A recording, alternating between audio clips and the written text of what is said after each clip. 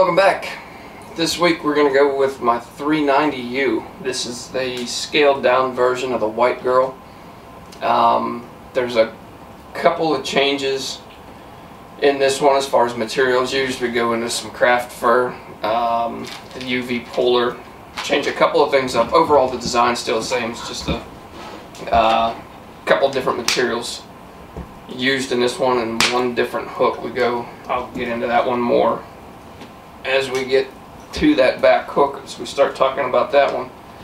But um, like I said, this one's just a scaled down version. It the the original was tied on a two and a one Daiichi 2461. Um, it it got pretty big. a lot of good motion in that, but it was kind of limited as to, you know, I mean, fish you can target. Um, obviously, I mean, you can always pick up, you can move a lot of fish on a big fly. A lot of times you'll just, there, it, it's more of a location type thing, you know, unless you get into the true predatory fish where they're just out to eat just about anything. Um, you, you can be limited on the bigger flies. So scale this one down a little bit. It seems to pick up a few more fish. Uh, may not be moving the bigger ones, but you, you just never know. Uh, I don't have enough data on that one just yet to say for certain that that's the case. But to get started on this one, I'm going to go ahead and zoom in and we're going to bend this front hook first. Um, this is the unique portion of this fly here. Let me get zoomed in to where I like it. That looks pretty good. This is the unique portion. If you watch the video on the white girls, you know that uh, there's a pretty aggressive bend on this and it affects the way that the fly swims. Um, so what, what we're going to do here is if you watch the bending hooks streamer video or the tying tips I went through on how I bend my hooks and you know it's not a complicated process. Just gonna heat this thing up a little bit. Right at about the one-third point is where I want this bend and then what I'm going to do is just take this and bend it right toward the camera, probably going close to a 30 degree bend on this hook. And you can see that right there. There's the bend that we're after. And then I'm just going to take this and go slightly down, probably a 5 to 10 degree bend down. So it has a nice little rounded effect to it. And it really affects the way, along with how it's trimmed, it really affects how this one swims. So I mean, it, it can be a little bit challenging to, to tie this deer hair on, um, but this bend is your reference point that you use right here. So all of your material, your deer hair collar is going to start right on that bend. It's going straight back. The rest of this is going to be a deer hair head. You get two stacks on the top and bottom. That finishes it out, but we'll get to that one hopefully not too long from now, depending on how much I decide to ramble and screw up. But for the back hook that I had alluded to earlier, I changed this up. Um, before, when I tied this, like I said, it was just on a 2461 Daiichi. I changed this out and I went with the uh, the 1850 Daiichis. They're the flat eye um, you know, it's a it's a vertical eye instead of a regular horizontal, and uh, it just makes tying this back hook in a little bit easier. It makes it easier to control everything. So I decided to go with the 1850. Uh, to get started on this, we're going to do this in a little rainbow trout version today. We're going to stop just shy of the point of our hook, not all the way back to the barb like we typically do. And then I have just two uh, schlappen feathers here. Um, I'm just going to go ahead and marry these up. Typically I like using the saddles. I think they I, I, I, think they just look a little bit better, but I'm running a little bit short on them. I've been tying quite a few of these patterns here lately, and I got just a little short. I mean, I, I still have them, but none of them really had the look or the profile that I was after. So we're just going to sub some slop in here today.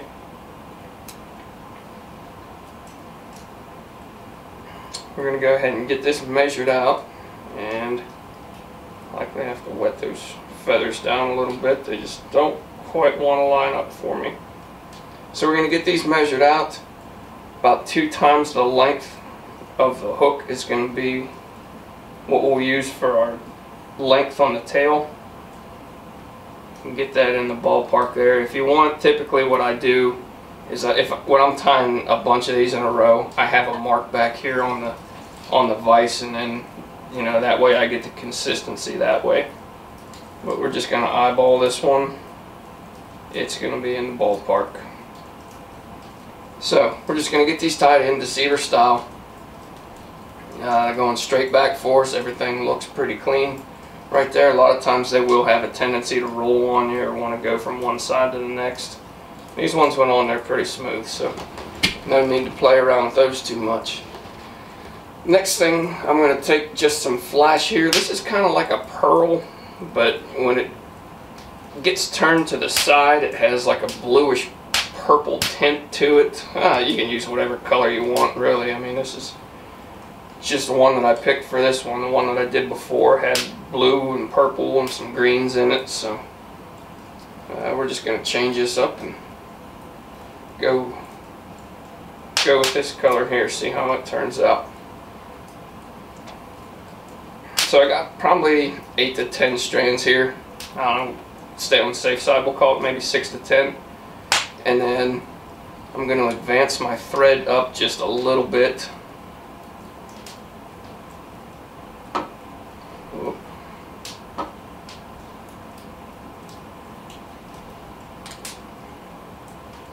and then go ahead and get this tied in. You can take it down each side if you want. I kind of just lay this right over the top and it's going to go where it wants to go anyhow.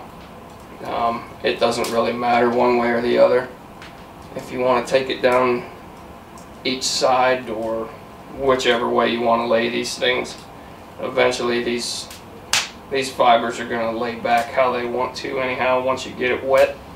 So there's our start right there with the tail. Probably could have taken and split these just a little bit. I got way too many on the one side, but like I said, as soon as it gets wet, these things are gonna they're gonna be on whichever side they want to anyhow. I'll help this out just slightly just for camera purposes. Too much flash on the one side there. Get a little distracting.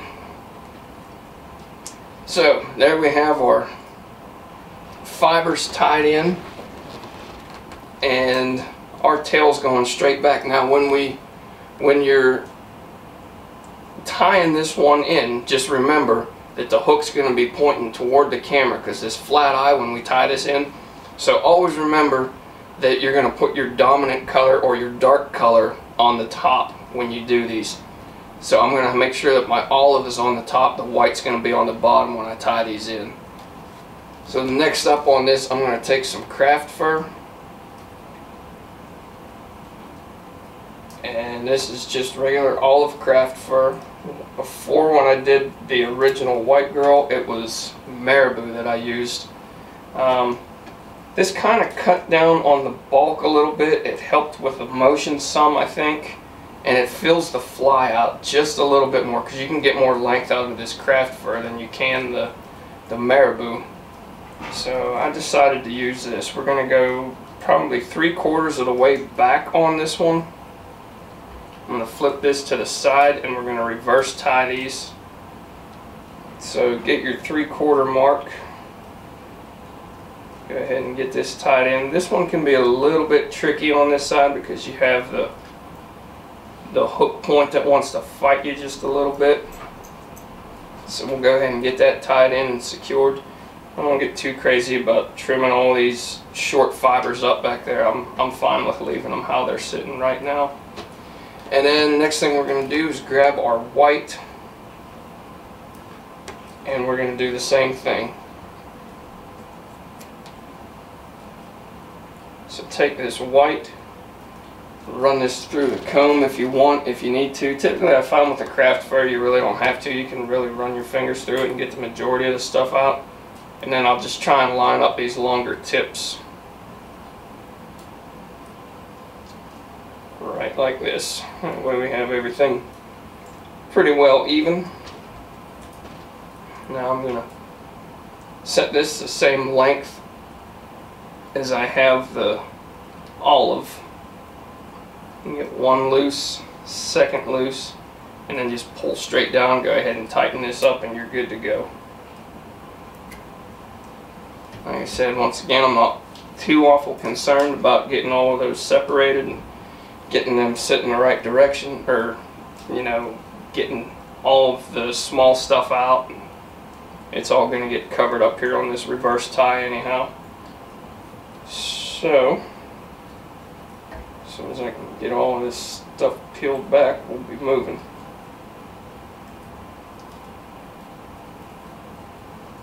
That one just gets a little bit difficult there with the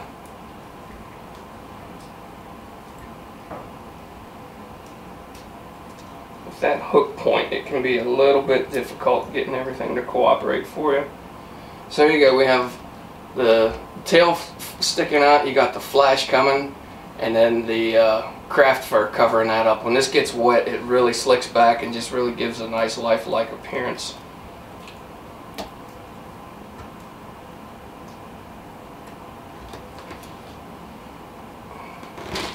Next up, we're going to take our UV polar. This is pink, just a straight pink. Well, yeah, this one is UV. I got regular UV and then the pink. This one, if you've watched any of the ones where I've worked with the this polar chenille before, um, this is a lot more sparse than the gold or the silver. It's just there's a less fibers per inch. So it is a little bit more sparse, but really, I mean, the majority of it's going to be covered up anyhow. The only thing that we're looking for is a little bit of pink to come through. So go ahead and leave yourself a little bit of extra room because we still have the two marabou stacks that we want to tie in there. And then we're going to get this stuff all straightened out. Try and go about the same, try and get all of your fibers going the same direction. That way you're not trapping too many of them. We got a little bump right there that we're going to work through. Go one, two more wraps right over top of that, kind of even that bump out, get the transition coming forward. Just kind of working my way through here every third or fourth wrap, give a quick anchor on this, quick pinch, straighten out the fibers, make sure everything's going the direction that you want them. One, two, and we'll call that good right there.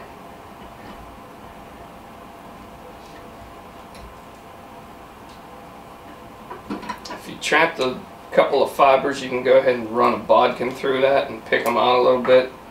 Everything seems pretty good here, so we're not going to worry about that too much. One, one little spot there that was a little sparse, but we'll live with it. Go ahead and just build up some thread here, clean that up just slightly.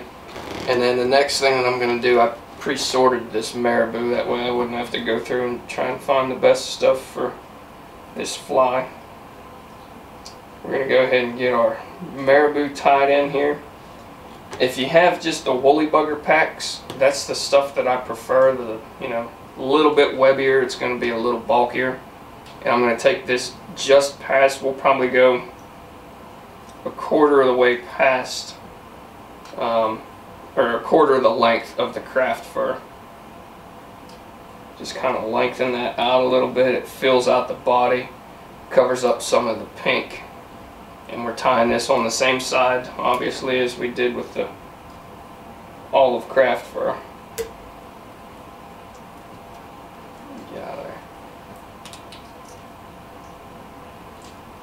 A couple good secure wraps on that and we're good to go. Next we're going to take the white on the underside.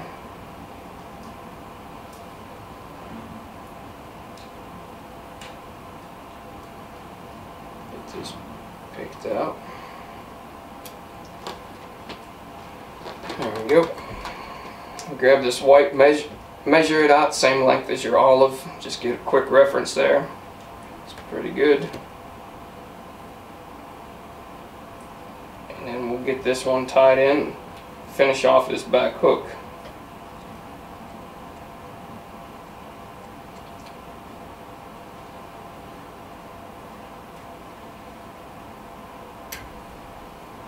to go. Ooh. And a hook in the thumb.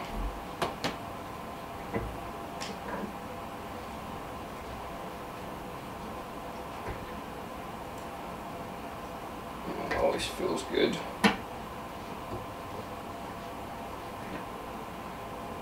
Quick whip finish, good to go. If you want to throw some glue on there, go ahead, feel free.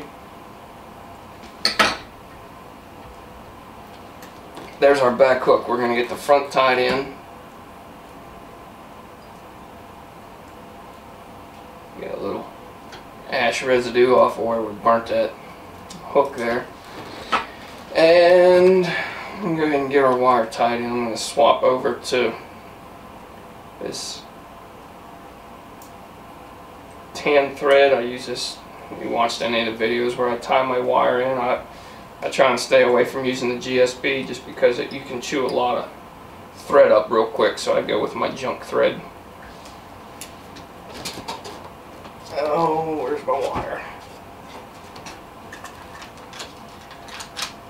So with this wire, I stop this, you can see where my thread's at in relation to that bend.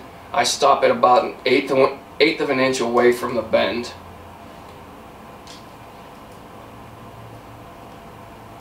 That way when I fold this stuff over, I'm not going to be tempted to rush toward that bend. I'm still going to have plenty of room to get my deer hair collar in there. Bring that back just a little bit. I'm going to fold this over and work this back for the taper. Now with this one it's going to wind up pretty good where we forward tie or reverse tie our uh, craft fur in, that gap should be eliminated. So it should be a lot smoother of a tran transition. I'm going to take this and give it a quick clip and then find a bead here and my trusty old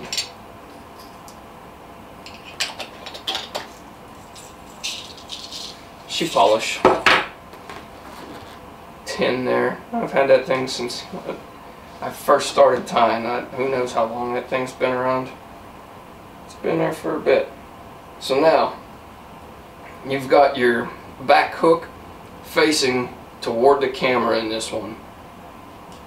On the last one, when I tied this, it was, I, I, I fought it the entire time. I couldn't get the dang thing to stay because it was you know, was, I was trying to do something. I was trying to keep the back hook at a 90 degree. Well, it wasn't meant to be at a 90, and you know, I mean, it still worked. It just made it a lot tougher when I was tying it in. So when I saw these hooks, I was like, oh, this is perfect. It'll work out great. And it has resolved a lot of frustration, a lot of cussing on this pattern for sure. So now we'll go ahead and get the rubber band in there. Get that thing to sit still for us and then we'll bring this to the front. Just shy where I left off with the the, the previous uh, wire. Peel that back and I'm just going to trim this stuff off if it'll let me. And then back to the gel spun. Oh, get over here.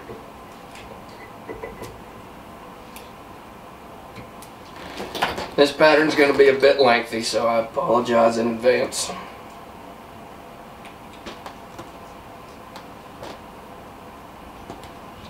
Get the gel spun started up again, and then we'll work our way to the back.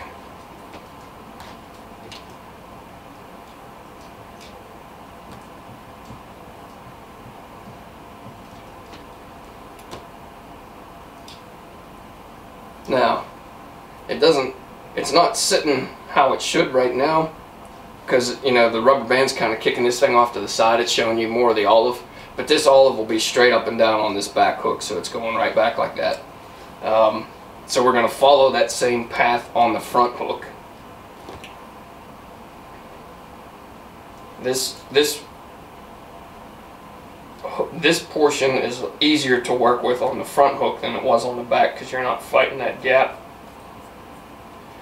on the hook trying to get everything to line up perfectly. This is just more of a traditional way of tying this in with the hook going up and down instead of east and west. So we'll get this same thing. Try and even these fibers out a little bit. This you want a little bit more material, so if you have to, go ahead and grab a little bit more. I could, I'm, I'm going to. I'm going to cut just a little bit more out. I want this to be a little bit thicker than the back. So I'm going to take just another little bit. Get that cleaned out in the comb. That looks better.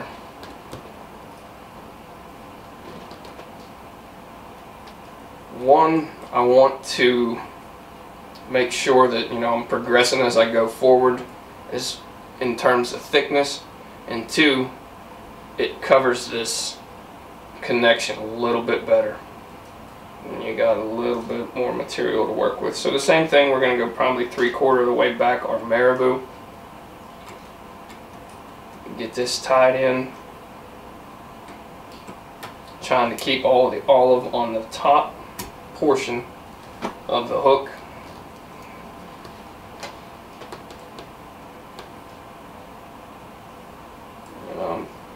try and find a good spot to grab from on this craft fur. This stuff can make a mess in a heartbeat, but it does make a pretty good looking fly.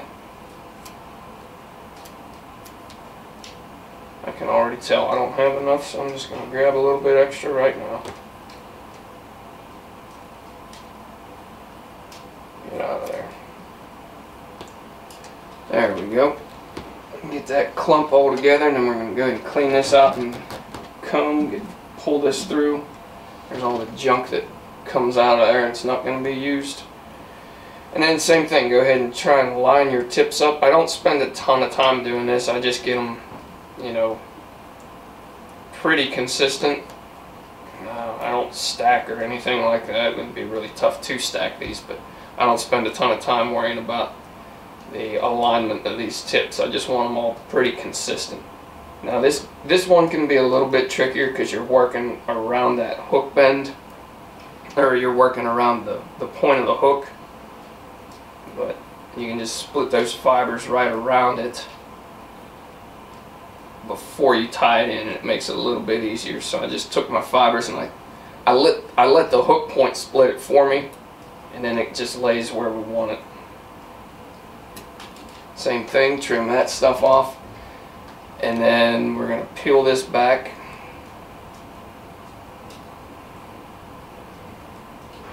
Get your fibers working through that hook again. Make sure we're covering up our connection. And then just go ahead and tie this deceiver style. Couple secure wraps on that. Everything looks good. Everything looks pretty good. See we have our connection covered up real nice with that little bit of extra that we took from the craft fur. That connection's basically masked the entire way. Have a nice clean break between our white and our olive. Um, I will take just a touch of glue on this and I'll butt it right up against that craft fur there. Just a little bit of reassurance.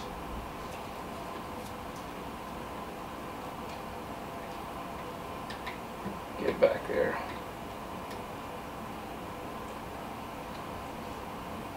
There we go. Same thing, we're going to tie in our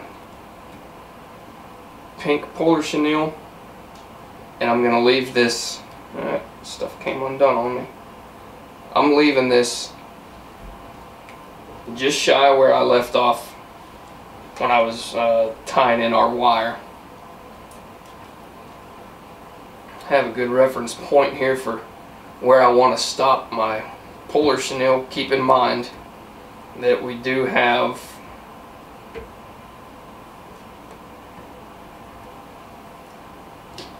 uh, a little bit too bulky on that one. There we go. Keeping in mind that we do have marabou to tie in before we get to the deer hair work. So we don't want to rush that in any way or it's going to make completing that head an absolute mess.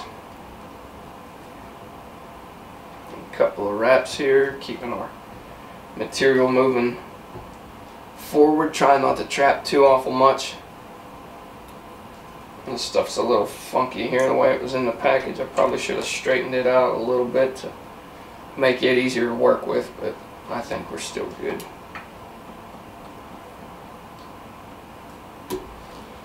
Alright, we got that tied off, get that stuff out of the way.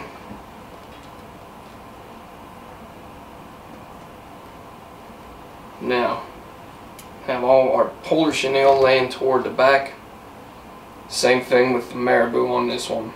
If you want, you can go craft fur again. I like the marabou. It's a little, uh, a little more full than the craft fur. It gives you a little bit more motion. And then same thing, lay this about a quarter of the way back where you tied in your craft fur. One, two, three, tight pull. Everything's good. Now you can see um, these fibers right here, the ones that I just trimmed off, the ones that are sticking forward, they're just barely covering that bend. So I know I'm right where I want to be. My thread right now is right before where the bend starts. Everything's good. It actually, there's a good reference right there if you can see. Right before that bend starts, that's where I have my feathers tied in.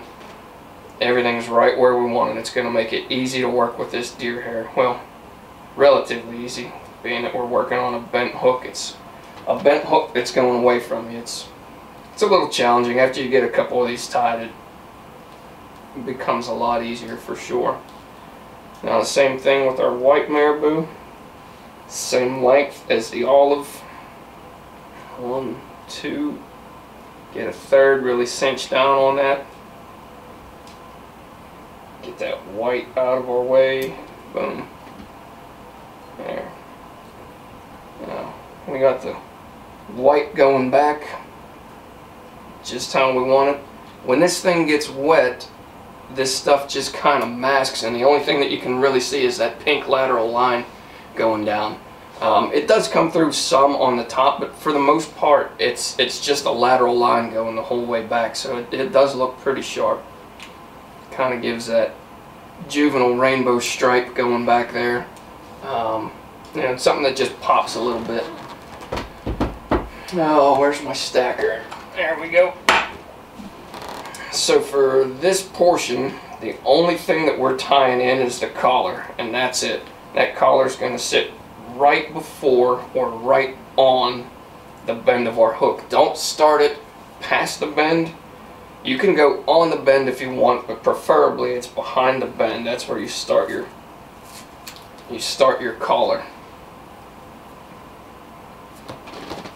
So I'm just going to get this cleaned up as best as I can and then we'll get this stacked get our collar tied in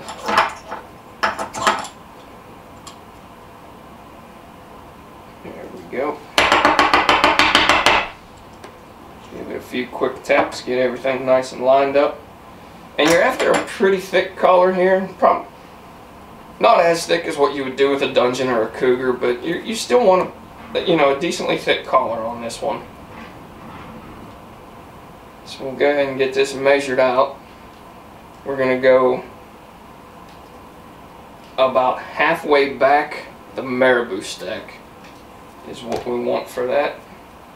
I could probably go a little bit thicker on this one, but I think I'm going to call it good. Oh, dropping craft fur.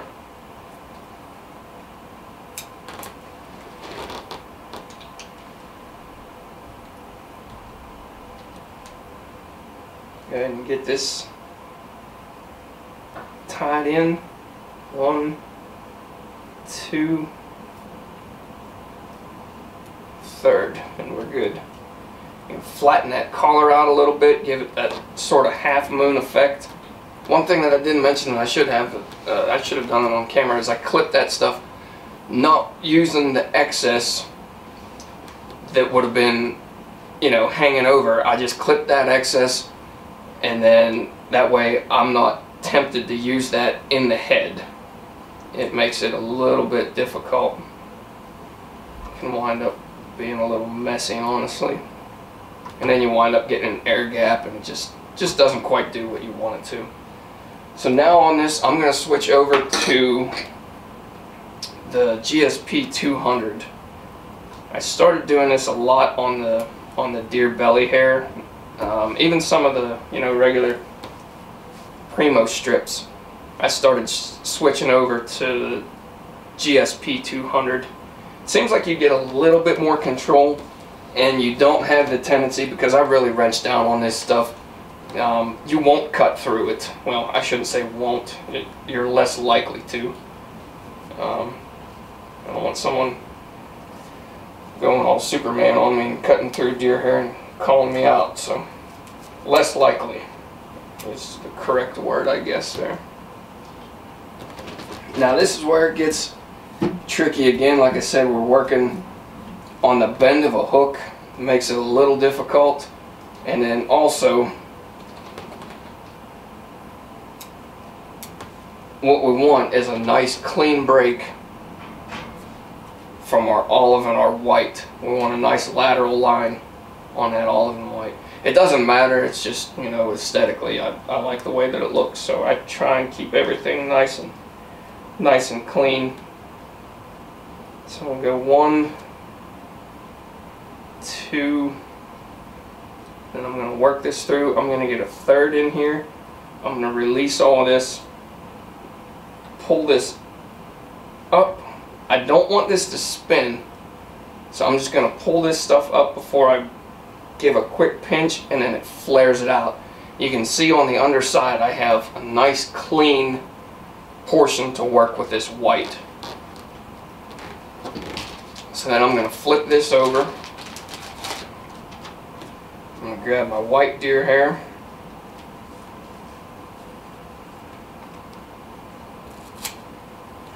Give that a quick clip. This olive is a little bit shorter than what I really prefer it to be. I'd like it to be, you know, half an inch to an inch longer, but um, it's usable. It's it's on the borderline of being too short, though. It is on the border of being too short. So now, same thing with the white. And you can you can flip this over on the other side if you want to. I actually got there we go. I had one.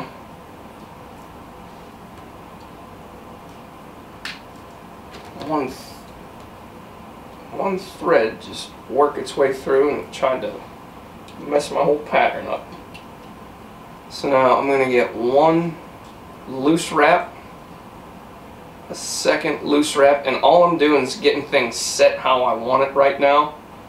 And then a third I'm going to just start to where this begins to flare things up. And then what I'm going to do is bring my thread up. I'm pulling straight up on this and you can see where it flares this out. Things are nice and flared out. The olive and the white are staying separated really make sure you get a good thick wrap on this because it does want to it, it has the tendency to want to spin on you just slightly. So we'll get this forward. Take our white and olive make sure that they're staying somewhat separated for the most part Get a couple of good wraps right there and we're good to go. Just wanted to rotate just slightly on me. We're still good. I got a couple white pieces coming into the olive. I'm going to get fired on this one. It's not going to be as clean as I want it. Same thing, we're going to go back to the olive. And it's going to start getting even trickier because we're working going away from us now. With the deer hair or with the bend of the hook it's going away from us so you kind of have to lean around and watch where you're tying everything in. It gets a little tricky but we'll make it work. Same thing get this set in here and before I do that I'm peeling everything back with my ring finger and my thumb. All that white hair is out of the way now. You get one wrap around this bundle, get a second. We're starting to flare. Boom, there's our third. Pinch down. We're good to go. We still have a little bit of room underneath here to get our white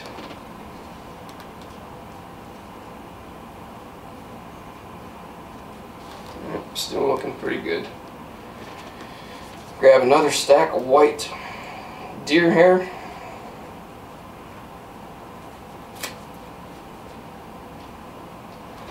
Get this cleaned up, we'll cut off the tips.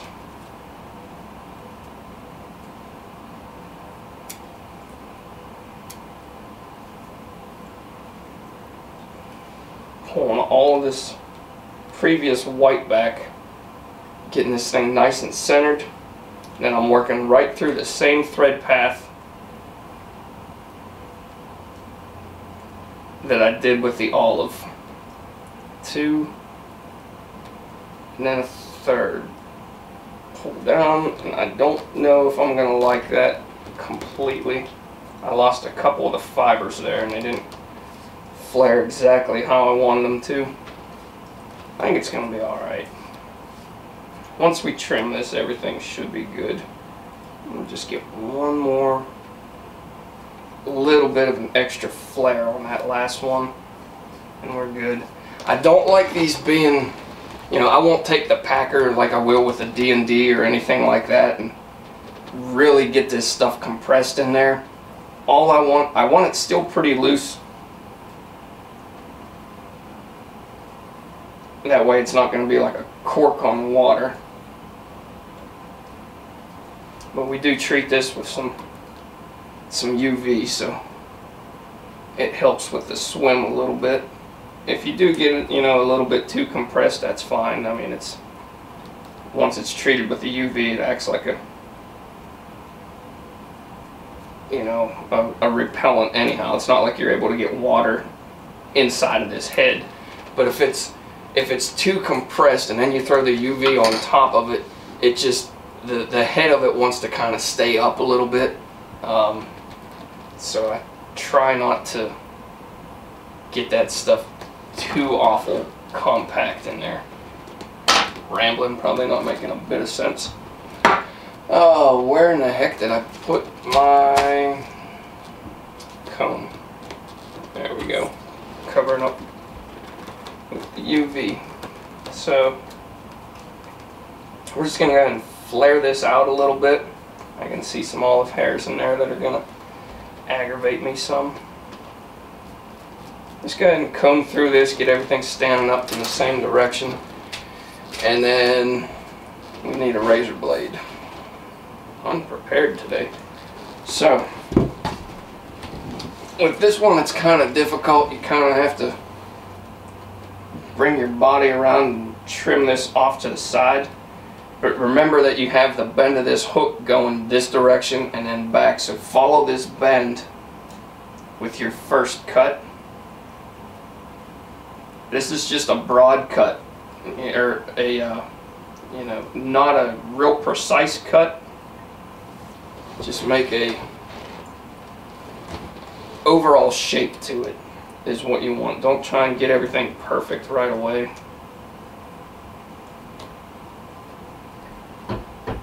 And then you have this nice little oval right here.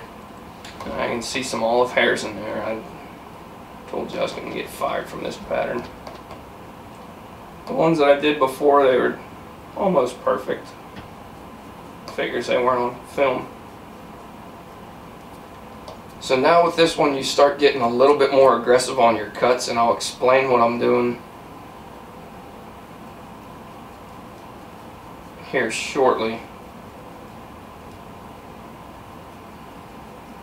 I get this out of my way here. So with this one, I took a flat cut, and I know you can't really see it right now. If I turn this, maybe you guys will be able to see that a little better. You can see the flat cut that I took right here on this side with the hook bend. And that really helps with the swim in this pattern. Now on the opposite side, I'm going to have this more rounded. So I'm just coming up through here.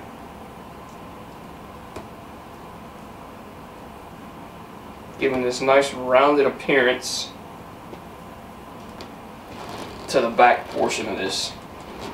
Same thing, I'm going to come on this side now and I can make a little bit more aggressive of a cut. Get that nice and rounded. Get out of there.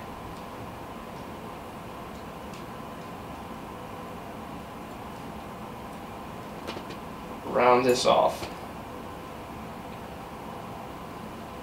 Going right back into the marabou.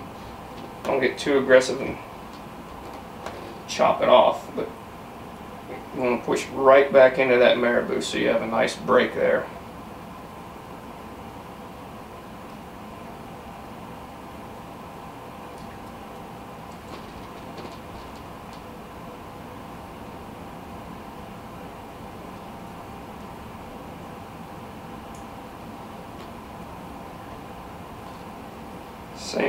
Up over top on this one. Giving that nice rounded look to it. Still have our collar nice and clean there.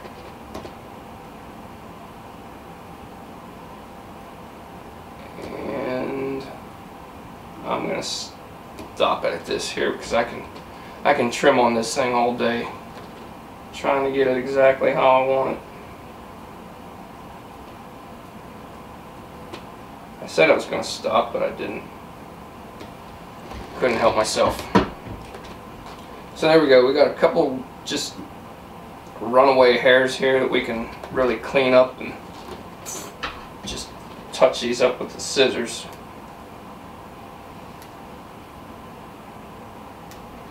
There we go. Things are looking pretty good. There you can see the overall look that we're after, and I'll spin the vise around one more time there's the look that we're after. So you got the rounded edge on this side, you got the nice flat portion right here. And what this does is it just catches that bend, or it, it makes the bend more uh, prevalent to catch water.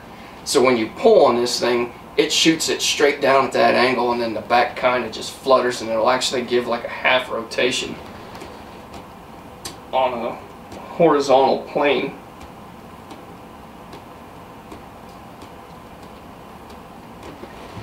Now, I'm going to take a just real small flat cut right here on this side where I want to put my eye. Just seems to help it adhere to the head a little bit better. So all I do is just take one quick little trim on this, just enough to get the eye to set to where it's not going to be on sitting on the rounded edge.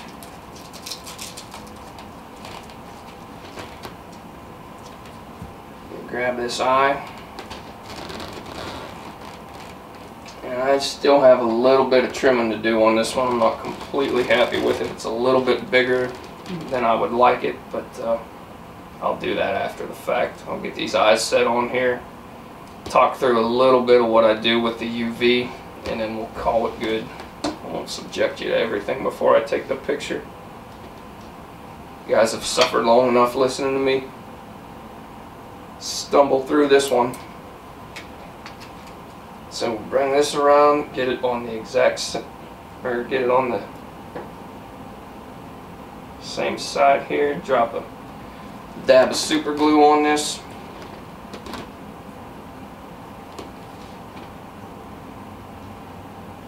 Set your eye. There we go. Everything looks pretty good. We'll give this quick rotation here and then I'll bring this back to the camera side there you can see the overall look that we're after and sometimes what I'll do is I'll just round off these edges a little bit because there's a clean cut right there and I'll round off this edge as well I haven't noticed a huge difference, but you know, it just it looks a little cleaner that way. So sometimes I will do it, other times I'll just leave it as is. And then the last thing that I'll do on this is I'll take some UV. I use the thick on this portion.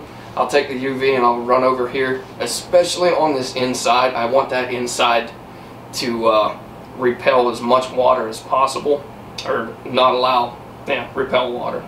There we go. English is my first language, I swear. Um, you know, and then sometimes I'll go over the back side as well, but the main portion that I really focus on is this inside section. That way it dives just a little bit more aggressively and uh, gives a little bit more motion to the fly. But there she is. There's the 390U. Um, if anybody has any questions or comments on this one, as always, leave them with me and I'll get back to you. If you stuck around this long, thank you. I know I rambled on that one for a little while and took a little bit longer than it should have. But uh, like I said, questions or comments, leave them with me and I'll get back to you. But thanks for watching we'll catch you on the next fly.